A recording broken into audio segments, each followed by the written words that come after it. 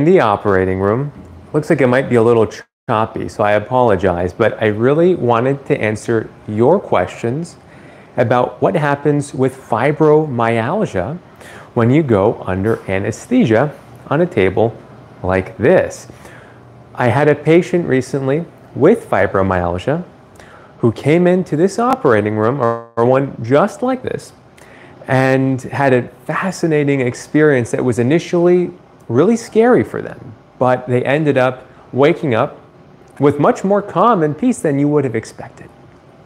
Hey, Alexis, Sophie, and Heidi, good to see you all.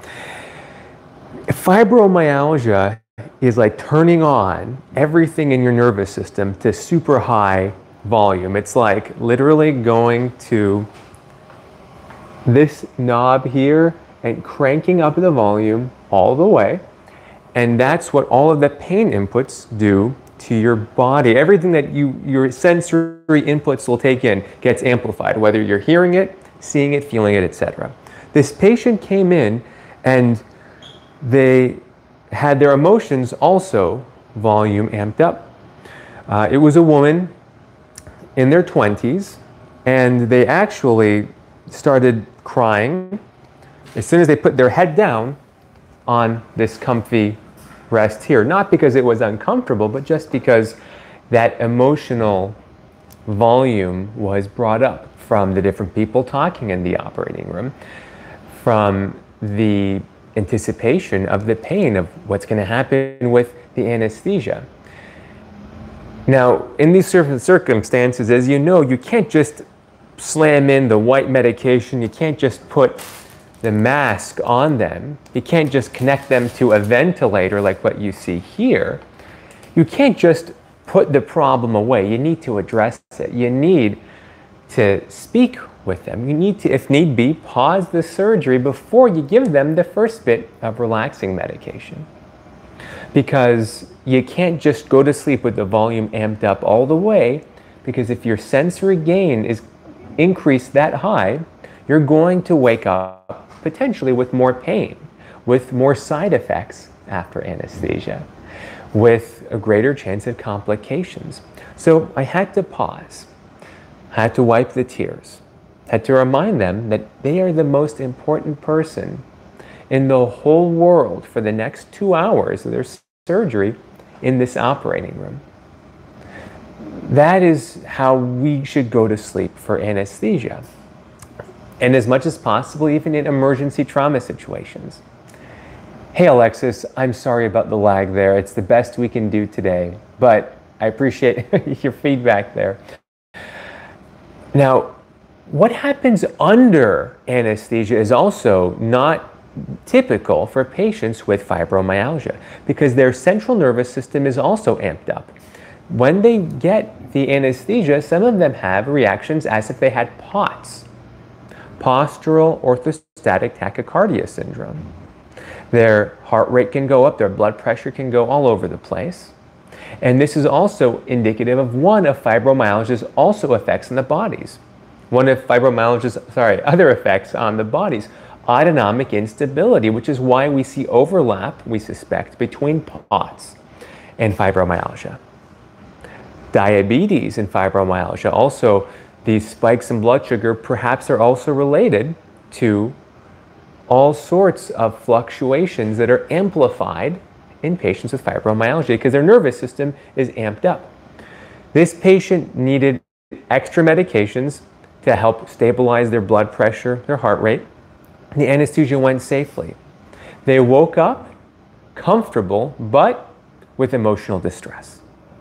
So, as you know, the typical kicking, screaming, sometimes cussing, but this individual, rather remarkably, snapped out of it very quickly. And I was really happy to see that. Instead of it being a 10 minute or 15 minute or one hour, or in some cases, days if not a week after surgery, within minutes, they were back with it.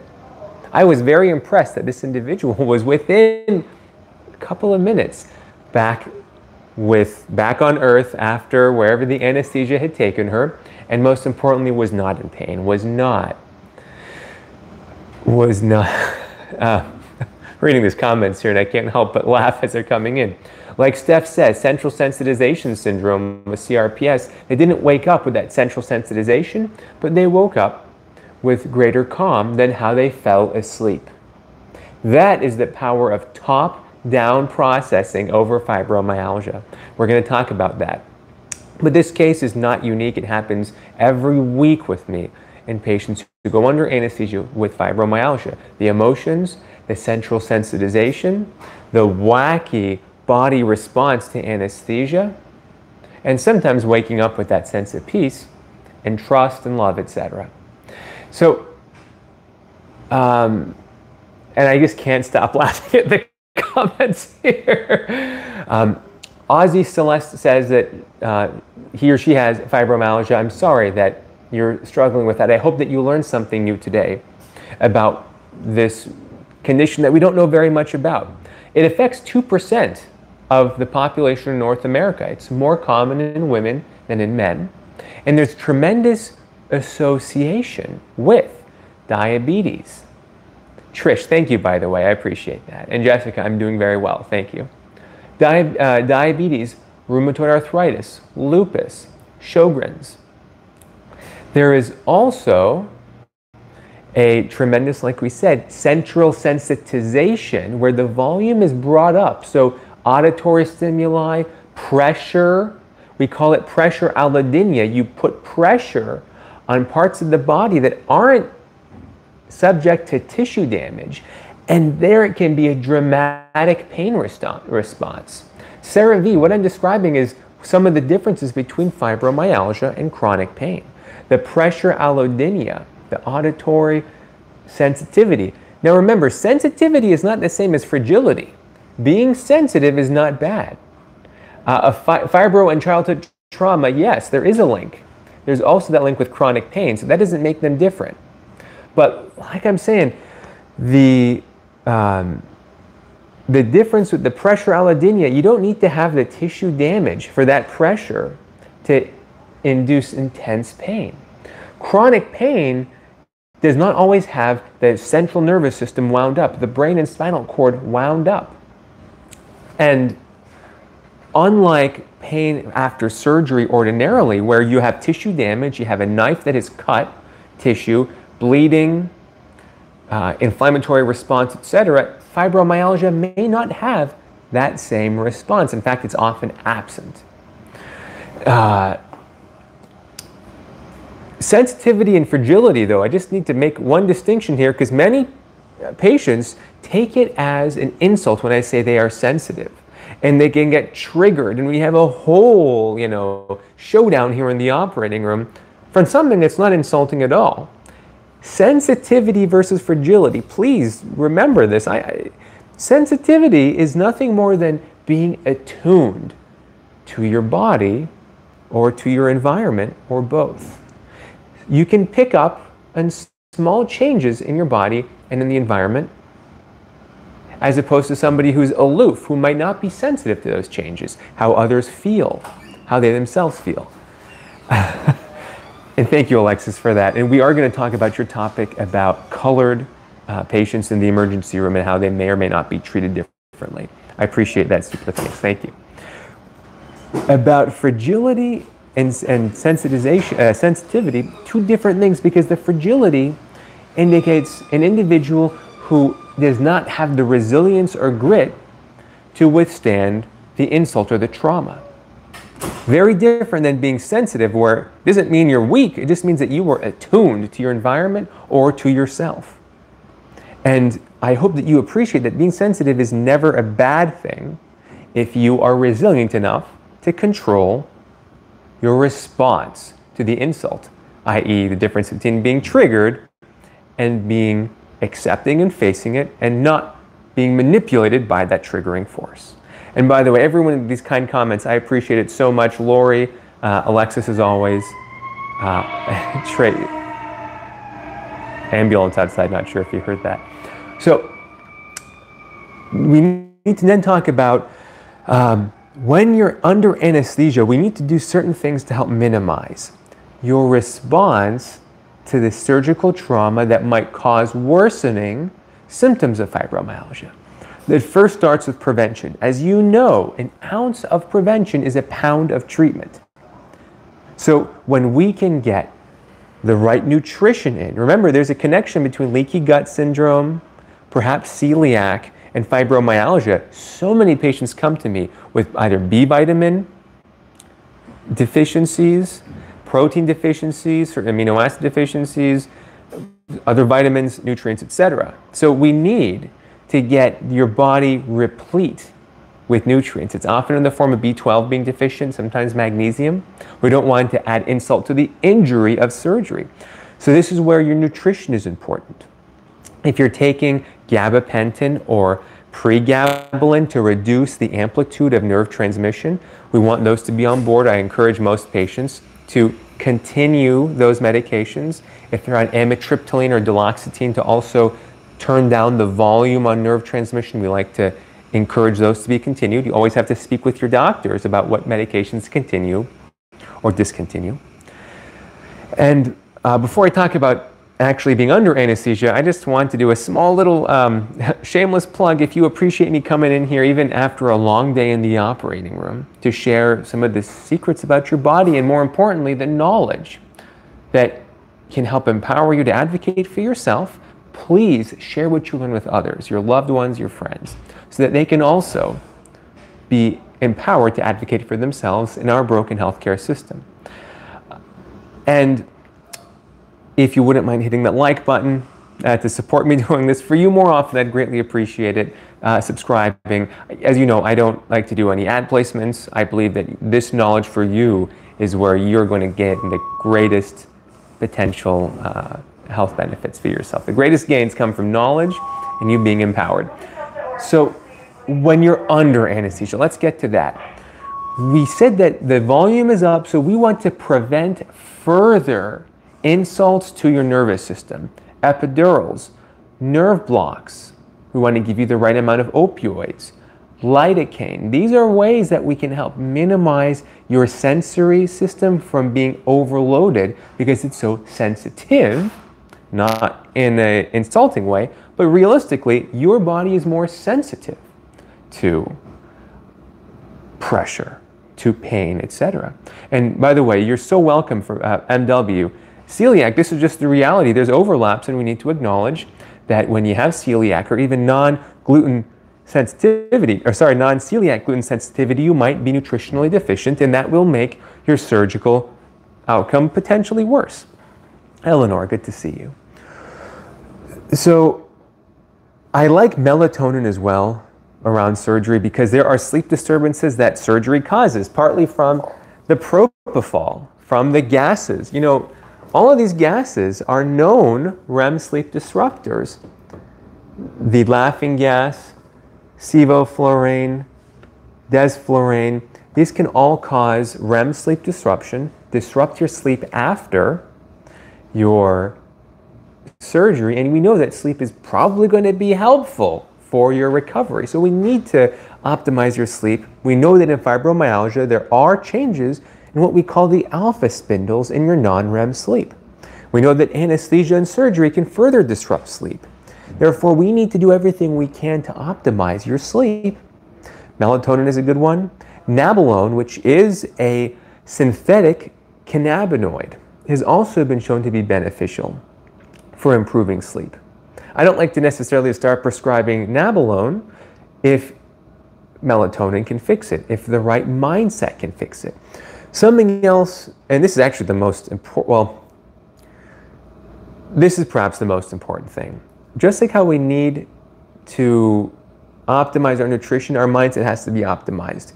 Fibromyalgia has impaired top-down analgesia, what we call impaired descending analgesia. What is descending analgesia?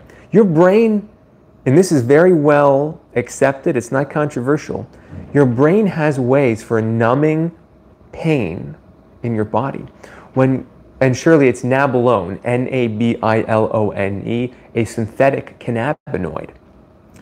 Um, Karen Brown Barrios, it's the first time I'm uh, seeing you here. Thank you so much for that. Thanks. I appreciate it very much. Thank you. Descending analgesia uh, is your body's innate pain relieving properties. So when there are soldiers in the battlefield who have these catastrophic injuries, how many of them feel the pain but are not paralyzed or crippled by it? They aren't in a state of psychological shock, even if they are in psychogenic, uh, uh, physiologic shock. And we know there are endocannabinoids, endorphins. These are molecules that the body creates that mimic opioids and mimic cannabinoids, like weed, that's correct, like fentanyl, etc., like morphine. And this is modulated by your brain telling the rest of your body to bring the volume down on pain perception. So instead of the volume up, which is where so many patients with fibromyalgia live, they are bringing the volume down. Your brain, the top of your body is controlling inputs through your spinal cord from, the, your, from your fingers, your arms, your legs, your belly, wherever.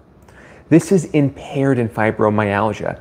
How do we help restore top down or descending analgesia from the brain through the brainstem down to the spinal cord, descending? In large part with our mind body practice before surgery uh, optimizing our mental health, whether it be depression or anxiety, PTSD, all of which are comorbid with fibromyalgia, adverse childhood experiences, etc. These all contribute to impaired descending analgesia. I will do the nerve block. I will give you the opioids. I will give you any anesthesia you want to block the acute pain from surgery, meaning the pain that happens in the moment. But if your sensitization is still through the roof, the second those medications wear off, your body will amplify everything right away. And we can't stay on those all the time.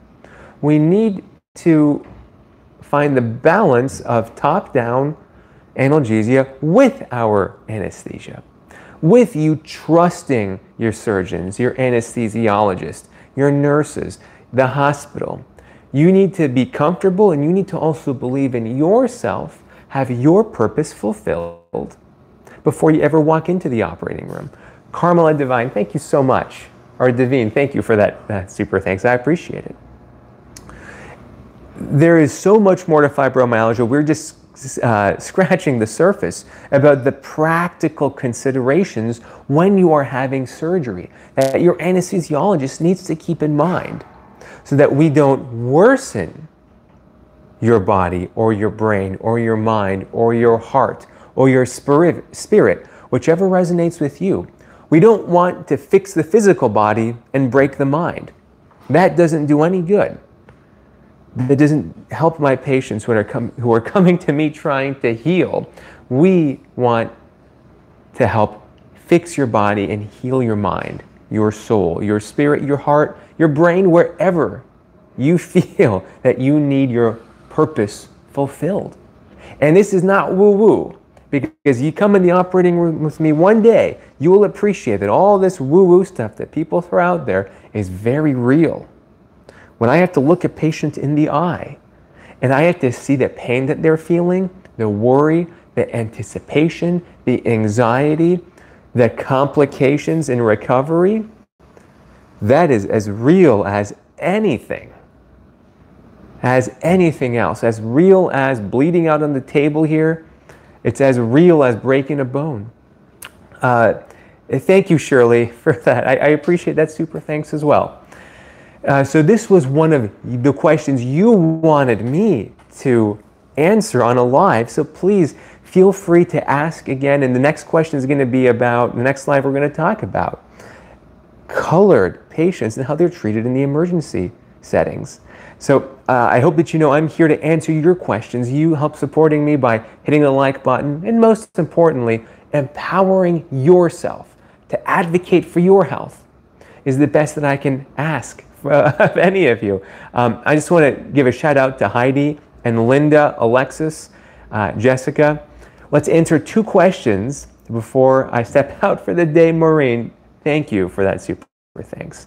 Uh, like I said, let's do two questions. I know there's so many more, but I would like to uh, at least get a couple in here. Jess says colored is probably not the word I want to use. I'm using the word that was posed in the question to me. It is not meant to be offensive to anyone. It is not meant to be triggering. It is meant to acknowledge the question that was asked of me, and I want to make the best effort to respectfully and with full dignity appreciate the, in the next video, the unfair or the inequitable care that certain populations receive. It's a reality of life. And if we don't acknowledge it, we as providers cannot begin to solve the problem. So please don't take the word choice that I use in concordance with what the person asked me as anything that would be offensive. I ask that of you. Thank you. And does fibromyalgia affect the heart? Sweet and salty? Yes. Anything that affects your central nervous system affects your heart. Your thoughts affect your central nervous system. Anesthesia affects your central nervous system. Surgery, pain, emotional pain as much as physical pain. You being triggered by somebody. Like that comment to me just now could have triggered me. And if you've seen me connect myself to the life support monitors, you've seen me induce panic attack like symptoms in my own body. Does that affect the heart? Can it hurt the heart? Over time, it absolutely can, which is why there was such a strong, if not unfortunate, relationship between depression, chronic pain, and cardiovascular disease. Absolutely. Um, I am Devil Woman says, I suffer from chronic pain, lower back from a car accident, and arthritis. Doctors keep telling me the pain is all in my head. This is a whole nother video about where pain is in your body. Pain is in our head. Doesn't mean that it's not real, but pain cannot be experienced without you having a brain. Unfortunately, that does lead itself to gaslighting, and to sometimes normalizing our, our experiences. But the truth is that we do need a brain to experience pain, and we have incredible control to modulate pain perception between medications, emotional and psychological support from the outside world, and our mind body health. None of it works in a silo, it has to all work together. Um, and Alexis, I agree with your wording. I did not perceive any issue at all there. Um, oh, Jessica, thank you for this. I didn't even see that. Thank you so much as well for that. Thank you. Um, Alchemy by Angela says that they have fibromyalgia, not fun. That's why we're raising awareness of it. Uh, last question. Um, uh, oh, Linda. Linda, thank you for that. I didn't even see that um, question there. Thank you. What if used everything naturally and nothing works and I have to take Klonopin? You ask such a powerful question, Linda. Um, and we're going to end with this because there is a time and a place for natural modalities. And they are life saving when used safely over time because they don't have side effects typically. Or if they do, they're typically much less. In most, not all cases. However, we live in a world where we would not be alive if not for certain advances in medical technology, chemotherapy, surviving complications from infectious disease, think HIV, neuropathy. How about surviving traumas? So your body has survived, you didn't bleed out after the car accident, but now you're left with perhaps physical and emotional pain and trauma from that accident. That is no longer a natural state of existence where one could have survived in an age before modern medicine. Therefore, is it unreasonable to expect modern medications to be helpful in these modern ways of living? Because, like I said, you wouldn't have been alive if it wasn't for the surgery that fixed your body but may have left you with scars, physically and emotionally. That perhaps the safe and gentle natural products would not would cannot adequately treat. And we know that undertreated pain and undertreated depression and undertreated PTSD affects your physical body in ways that we can see here in the operating room. That's why I never want any patients to feel inadequate if natural ways of healing don't work initially. But oftentimes, with medications, and you know that I have a ketamine infusion clinic where I help patients reach a point with mindfully delivered ketamine to be able to let natural therapies and modalities fix or begin to heal themselves. It's not about all or nothing. We live in a world where we don't need to compromise. Thankfully, we're blessed to have access to modern medicine and natural techniques. And with the right knowledge, you can discover the right mix and balance for your body. It's not one size fits all, it never is. It's always about personalizing to who you are as an individual. Uh, Eleanor, good to see you. Uh, remember that you have more power over your health than you've ever been told.